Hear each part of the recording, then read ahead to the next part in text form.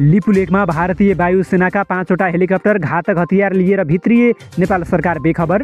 नेपाली सेनाले चिनसँग सहकार्य गरेर कालापानीमा सैनिक क्याम्प स्थापना गर्दै चिनले जनायो सहमति। लिपुलेकको सडक विस्तार कार्यलाई कसैको धम्की र अवरोधले नरोकिने मोदीको चेतावनी देउबा भने अझै बोलेनन्।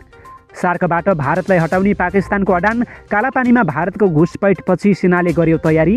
नेपाललाई अन्तर्राष्ट्रिय मुद्रा कोषको छ्यालिस अर्ब सत्तरी करोड सहयोग नेपालका विपन्न परिवारका लागि खर्च गरिने। नेपालबाट चालु आर्थिक वर्ष दुई हजार अठहत्तर उनासीको पाँच महिनामा एक अर्ब एक करोड बाह्र लाख रुपियाँको छुर्पी निर्यात सबैभन्दा बढी अमेरिकामा गयो।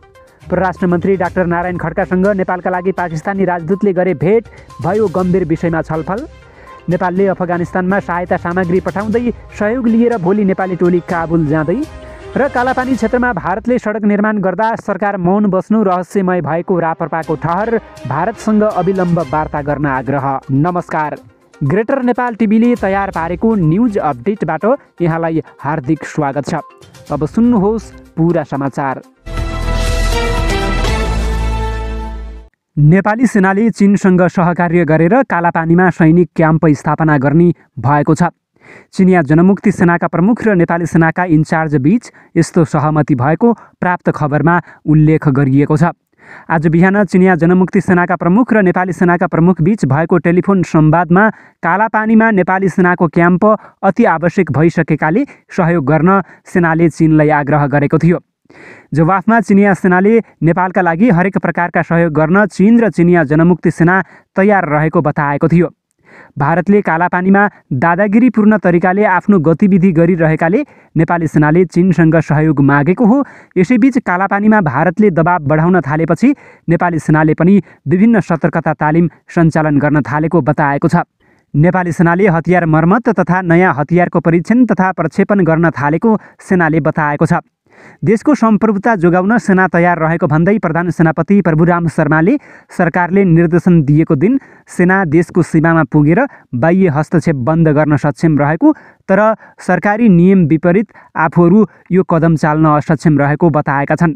हालैका दिनमा भारतीय प्रधानमन्त्री नरेन्द्र मोदीले उत्तराखण्डमा आएर भारत सरकारले लिपुलेकमा बाटो फराकिलो बनाइरहेको र कसैले अवरोध गर्न खोज्यो भने त्यसलाई कडा जवाफ दिने बताएका थिए। यसैबीच भारतका विभिन्न सञ्चार माध्यमहरूले लिपुलेकमा सडक चौडा गर्ने तथा कालोपत्रे गर्ने काम जारी रहेको बताएका छन्। पाकिस्तानका प्रधानमन्त्री इमरान खानले फेरि सार्क राष्ट्रबाट भारतलाई हटाउने चेतावनी दिएका छन्। दक्षिण एसियाका देशहरूको स्वतन्त्रता र द्रुत विकासका लागि सार्क स्थापना गरिएको भए पनि भारतको विस्तारवादी सोच नहटेको बताएका छन्। पाकिस्तानको लाहोरमा सञ्चारकर्मीहरूसँग कुराकानी गर्दै उनले सार्क राष्ट्रका कमजोर मुलुकहरूलाई नै भारतले उल्टै निल्ने रणनीति बनाइरहेको गम्भीर आरोप लगाएका छन्। भारतले नेपाल भुटान पाकिस्तान श्रीलङ्का लगायत धेरै देशको भूमि तथा सामुद्रिक मार्ग कब्जा गरेकाले अब सार्क राष्ट्रले भारतलाई हटाएर नयाँ सार्क अगाडि बढाउनु पर्ने बताएका छन्। परराष्ट्र मन्त्री डाक्टर नारायण खड्गासँग नेपालका लागि पाकिस्तानी राजदूत सैयद हैदर शाहले शिष्टाचार भेट गर्नु भएको छ। मन्त्री खड्गासँग राजदूत शाहले परराष्ट्र मन्त्रालयमै गएर भेट गर्नुभएको हो। भेटघाटमा मन्त्री र राजदूतबीच दुई देशबीचको आपसी सम्बन्ध आपसी हित र सहकार्यका बारेमा विचार विमर्श भएको छ। उहाँहरूबीच दुई देशबीचको सुमधुर आपसी सम्बन्धलाई थप बलियो बनाउन आवश्यक पहल गर्ने सम्बन्धमा पनि कुरा भएको बताइएको छ। नेपालबाट चालु आर्थिक वर्ष दुई हजार अठहत्तर उनासीको पाँच महिनामा एक अर्ब एक करोड बाह्र लाख रुपियाँको छुर्पी निर्यात गरिएको छ। चालु वर्षको साउनदेखि मङ्सिरसम्म नेपालबाट उक्त मूल्य बराबरको छ लाख एकतिस हजार किलो छुर्पी निर्यात भएको हो। भन्सार विभागले सार्वजनिक गरेको पाँच महिनाको तथ्याङ्क अनुसार उन्नाइसवटा देशमा छुर्पी निर्यात हुँदै आएको छ। कम्बोडिया क्यानाडा चिन Germany Hong Kong Indonesia Japan Korea European मुलुक र अमेरिकी देशमा छुर्पी निर्यात हुँदै आएको छ। ती मुलुकले पाल्तु कुकुरको खानाको रूपमा नेपालमा उत्पादित छुर्पी प्रयोग गर्छन्। यस अवधिमा सबैभन्दा धेरै अमेरिकामा पचासी करोड रुपियाँको छुर्पी निर्यात भएको छ। नेपालले अफगानिस्तानमा सहायता सामग्री पठाउने भएको छ। मानवीय सहायता सामग्रीसहित नेपाली टोली भोलि बिहान अफगानिस्तान जाने भएको छ। परराष्ट्र मन्त्रालयका प्रवक्ता सेवा लम्सालका अनुसार भोलि बिहान हिमालयन एयरलाइन्सको चार्टर्ड विमानबाट परराष्ट्रको टोली त्यहाँ जान लागेको हो। नेपाली टोली अफगानिस्तानको राजधानी काबुल पुगेर सहयोग हस्तान्तरण गर्ने कार्यक्रम रहेको छ।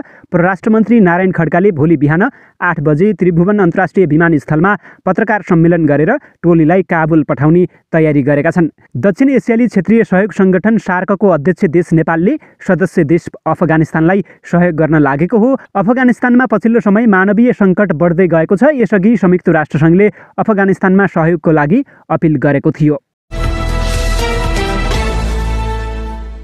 राष्ट्रिय प्रजातन्त्र पार्टी रापरपाले नेपाली भूमि लिपुलेक कालापानी क्षेत्रमा भारतले एकतर्फी रूपमा सडक निर्माण गरिरहेको भन्दै आपत्ति जनाएको छ। कालापानी लिपुलेक नेपाली भूमि भएको भन्दै रापरपाले आफ्नो भूमिमाथि भइरहेको अतिक्रमण र हस्तक्षेपका विरुद्ध नेपाल सरकारले प्रतिवाद गर्नुपर्ने बताएको छ। नेपाली भूमि लिपुलेक कालापानी क्षेत्रमा भारतले एकतर्फी रूपमा सडक निर्माण गरिरहेको र केही दिन अघि भारतीय प्रधानमन्त्री नरेन्द्र मोदीले सो कुराको खुलासा गर्नुभएको विषय गम्भीर आपत्तिजनक र नेपाली सार्वभौमिकताको विरुद्धमा रहेको छ। रापरपाले आज एक विज्ञप्ति जारी गर्दै भनेको छ कालापानी लिपुलेक र लिम्पियाधुरा नेपाली भूमि हो। आफ्नो भूमिमाथि भइरहेको अतिक्रमण र हस्तक्षेपका विरुद्ध नेपाल सरकारले प्रतिवाद गर्नुपर्छ। भारतले सार्वजनिक रूपमा सडक निर्माण गरिरहेको अभिव्यक्ति दिइरहँदा नेपाल सरकार र सत्तारूढ गठबन्धनको आश्चर्यजनक मौनता दुःखद र रहस्यमय भएको रापरपाको ठहर रहेको छ।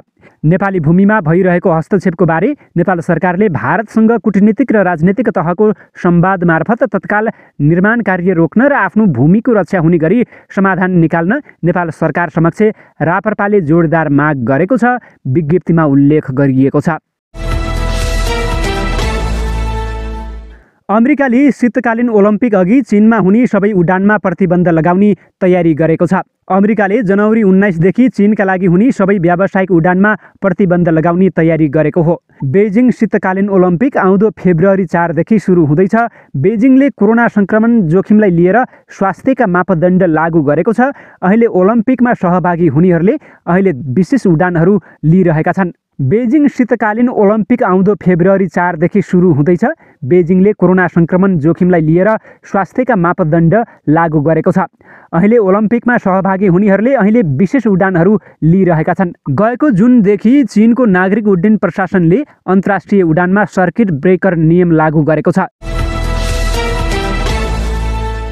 अन्तर्राष्ट्रिय मुद्रा कोषले नेपाललाई छ्यालिस अर्ब सत्तरी करोड रुपियाँ सहुलियतपूर्ण ऋण दिएको छ। मुद्रा कोषले इन्ह्यान्स क्रेडिट फ्यासिलिटी मार्फत छ्यालिस अर्ब सत्तरी करोड रुपियाँ बराबरको सहुलियतपूर्ण ऋण शून्य ब्याज दरमै दिएको हो। उक्त ऋण सहायतामध्ये करिब तेह्र अर्ब रुपियाँ अर्थात् एक सय दस मिलियन अमेरिकी डलर बराबरको रकम पहिलो किस्ता बापत प्राप्त हुनेछ। अर्थ मन्त्रालयका अनुसार उक्त रकम एक हप्ताभित्रै नेपालले पाउनेछ बाँकी रकम विभिन्न किस्तामा क्रमशः प्राप्त हुने गरी स्वीकृत भएको मन्त्रालयले जारी गरेको विज्ञप्तिमा उल्लेख गरिएको छ। कोभिड नाइन्टिनका कारण जनस्वास्थ्य र आर्थिक गतिविधिमा परेको नकारात्मक प्रभाव कम गर्न दिगो विकास तथा गरिबी निवारण सम्बन्धी नेपालले लिएको सुधारका काम र प्रयासलाई निरन्तरता दिन सहयोग पुग्ने विश्वास लिएको छ। अन्तर्राष्ट्रिय मुद्रा कोषबाट प्राप्त हुने उक्त सहायता नेपालले आवश्यकता र प्राथमिकताका आधारमा बजेटमा समावेश गरी खर्च गर्ने भएको छ। कोषसँग भएको प्रारम्भिक छलफलमा चालु आर्थिक वर्षको बजेटमा उक्त रकमलाई बजेटको स्रोत कायम गरिने मन्त्रालयले जनाएको छ। सत्तारूढ नेपाली कङ्ग्रेसले लिपुलेक लिम्पियाधुराबारे भारतीय प्रधानमन्त्री नरेन्द्र मोदीको भनाइप्रति आपत्ति प्रकट गर्दै करिब दुई सातापछि आफ्नो धारणा सार्वजनिक गरेको छ। कङ्ग्रेसका दुई महामन्त्री विश्वप्रकाश शर्मा र गगन थापाले शुक्रबार संयुक्त हस्ताक्षरमा विज्ञप्ति निकालेर भारतीय प्रधानमन्त्री मोदीको भनाइमा आपत्ति जनाएका हुन्। उनीहरूले भारतीय प्रधानमन्त्री मोदीले लिपुलेक क्षेत्रमा भारत सरकारले सडक बनाइरहेको भनेर दुई साता अघि एक कार्यक्रममा दिएको अभिव्यक्तिको विरोध गर्दै संस्थागत रूपमा कङ्ग्रेसको धारणा सार्वजनिक गरेका हुन्। महामन्त्री द्वय शर्मा र थापाले निकालेको विज्ञप्तिमा भनिएको छ लिपुलेक लिम्पियाधुरा र कालापानी नेपाली भूमि हो। यसबारेमा कङ्ग्रेसले विगतदेखि नै संस्थागत रूपले आफ्नो धारणा र अडान स्पष्ट पार्दै आएको छ। उनीहरूले कङ्ग्रेस पहिलेदेखि नै भारतद्वारा अतिक्रमित भूमिबारे प्रष्ट रहेको बताएका छन्। लिपुलेक लिम्पियाधुरा र कालापानी नेपालको भूभाग हो। नेपालको भेगाधिकार यी भूगोलमा कायम हुनुपर्दछ भन्ने विषयमा नेपाली कङ्ग्रेस प्रष्ट छ उनीहरूले भनेका छन्। कालापानीबाट भारतीय सैनिक फिर्ता हुनुपर्दछ। अघिल्लो वर्ष पारित नक्साकै आधारमा नेपालको भूमि कायम हुनुपर्ने पनि उनीहरूले बताएका छन्। नेपालको संसदले सर्वदलीय एकता साथ संविधान संशोधन मार्फत पारित गरेको नेपालको नयाँ नक्सा सुगौली सन्धिपछिको नेपाल थियो र त्यसको कार्यान्वयन हुनुपर्छ भन्ने विषय राजनीतिक दलहरू एवं नेपाल सरकार समेतको साझा अभिमत हो भन्ने विषयमा नेपाली कङ्ग्रेस प्रष्ट छ। कङ्ग्रेसको विज्ञप्तिमा भनिएको छ। दुई राष्ट्र बीचको सीमा सम्बन्धी कुनै पनि प्रश्नको हल ऐतिहासिक तथ्यका आधारमा हुनुपर्दछ। अठार सय सोह्रको सुगौली सन्धिको दस्तावेज दुवै राष्ट्रको साझा स्वीकारोक्तिको तथ्य हो भन्नेमा हामी प्रष्ट छौँ। कङ्ग्रेसले नेपाल भारत संयुक्त आयोगमा दुई देश बीचको सबै प्रश्नमा कुटनीतिक संवादबाट समाधानमा पुग्ने गरी भएको सहमति विपरीत लिपुलेकमा सडक निर्माण भनेर आएको विषय गम्भीर र आपत्तिजनक रहेको बताएको छ। विज्ञप्तिमा लिपुलेकमा बनिरहेको सडक अविलम्ब यो रोकिनुपर्ने माग पनि गरिएको छ। तर सत्तारूढ गठबन्धनको माओवादी केन्द्र अहिलेसम्म मौन रहेको छ त्यसै गरी शेरबहादुर देउबा नेतृत्वको सरकारले पनि यसबारेमा कुनै ठोस धारणा सार्वजनिक गरिसकेको छैन। र भारतीय प्रधानमन्त्री नरेन्द्र मोदीले लिपुलेकको सडक विस्तार कार्यलाई कसैको धम्की र अवरोधले नरोकिने चेतावनी दिएका छन्। दिल्लीमा आयोजित एक कार्यक्रमलाई सम्बोधन गर्दै मोदीले भने टनकपुरदेखि लिपुलेक कालापानीसम्मको भूभाग भारतको अभिन्न अङ्ग भएकाले आफ्नो भूमिमा काम गर्दा अरूले रोक्न नसक्ने चेतावनी दिएका हुन्। यसअघि उत्तराखण्डको कुमाउँमा आएर लिपुलेखमा सडक विस्तार जारी रहेको र आगामी दिनमा झनै तीव्र पारिने बताएका थिए यसैबीच लिपुलेखमा काम गर्ने मजदुरको ज्याला पनि भारतले बढाएको छ। चिसोमा काम गर्न मजदुरलाई शास्ति भएपछि जनही एक हजारको दरले ज्याला वृद्धि गरिएको भारतीय सञ्चार माध्यमले जनाएका छन्। हिजो मात्रै भारतीय वायुसेनाका पाँचवटा हेलिकप्टरले लिपुलेकमा कामदारका लागि खाद्यान्न तथा न्याना कपडा लिएर लिपुलेक आएको थियो तर नेपालको देवबा सरकार भने कानमा तेल हालेर बसिरहेको छ र अझ राष्ट्रघाती एमसिसीमा जोडबल गरिरहेको छ। हवस् त। यिनै खबरसँगै ग्रेटर नेपाल टिभीले तयार पारेको न्युज अपडेटको समय सकिएको छ। प्रत्येक पलका ताजा अपडेटको लागि हामी तपाईँको माझमा छौँ। नमस्कार।